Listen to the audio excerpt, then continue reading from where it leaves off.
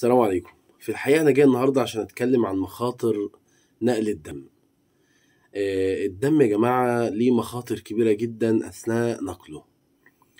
آه، في للأسف في بعض المستشفيات ما بتتخذش الحذر في قواعد السلامة والصحة المهنية في نقل الدم.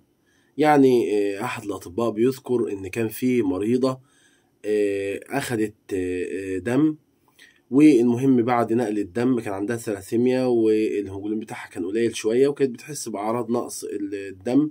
بعد ما عملت التحاليل قرروا إن هم يدوها دم ولكن بعد ما أخذت الدم حالتها الصحية تدهورت تدهور شديد جدا واضطرت تدخل العناية المركزة. فطبعا ده رجع بالتأكيد إن هي كانت أكيد يا إما خدت دم ملوث أو غير نظيف أو مش معمول له الفحوصات الكافية أو اللازمة فلازم إن إحنا لما ننقل الدم ننقله في أماكن متخصصة أو أماكن آه، مختصة لنقل الدم ويكون تحت إشراف طبي وتمريضي كويس جدا ويكون عارف هو بيعمل إيه وبينفذ إزاي.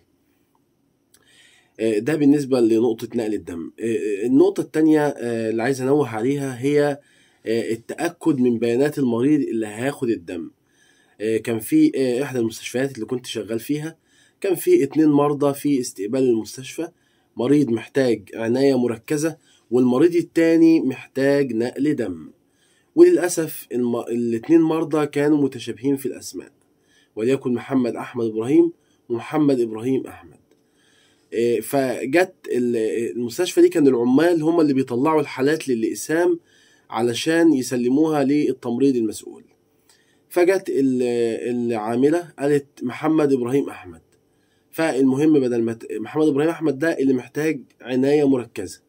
فبدل ما تاخد آه، مح- محمد إبراهيم محمد محمد إبراهيم أحمد محتاج عناية مركزة.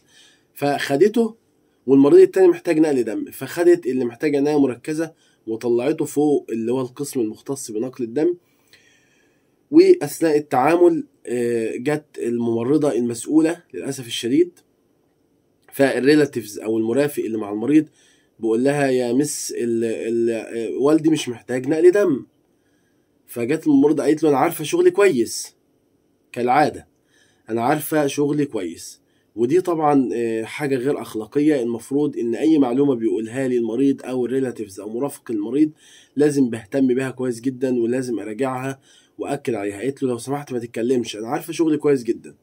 وبالفعل بدأت الممرضة تنقل الدم بتاع المريض الغلط. لمريض آه، التاني اللي مش محتاج أصلا نقل دم. ومع أول خمس دقايق بدأ المريض يحس بضيق في النفس شديد ووشه بدأ يبقى ساينوزد بتقيس الضغط لقت الضغط فوق ال 200 على 140 لقت العلامات الحيوية كلها فيها مشاكل كبيرة جدا آه، فبلغت الطبيب فجه في الحال والمريض نزل العناية المركزة. هو كده كده كان محتاج عناية مركزة فنزلوا عناية مركزة. ولكن للأسف المريض تدهور واتوفى وحصل فيها مشاكل كبيرة جدا. فالرجاء ثم الرجاء ثم الرجاء. إن إحنا ننتبه كويس قوي قبل ما ننقل الدم لأي عيان. لازم تتأكد من الفصيلة بتاعه ال patient الفصيلة بتاعه العيان. لازم آه، تتأكد إن هو معمول له توافق. لازم تتأكد من اسم المريض وسنه والبيانات بتاعته كلها تكون واضحة ومكتوبة على كيس نقل الدم على ال- ال- ال leaflet اللي بتبقى موجودة على الكيس.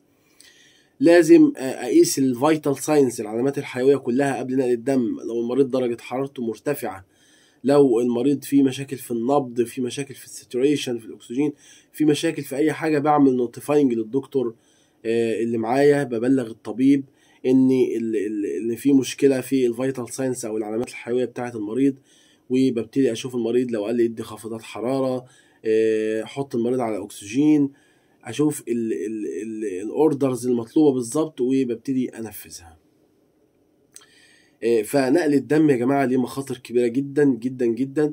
أتمنى يكون اللي بينقل الدم يكون فاهم يكون متخصص يكون عارف هو بيعمل إيه يكون آه، واعي لكل حاجة بخطوات نقل الدم.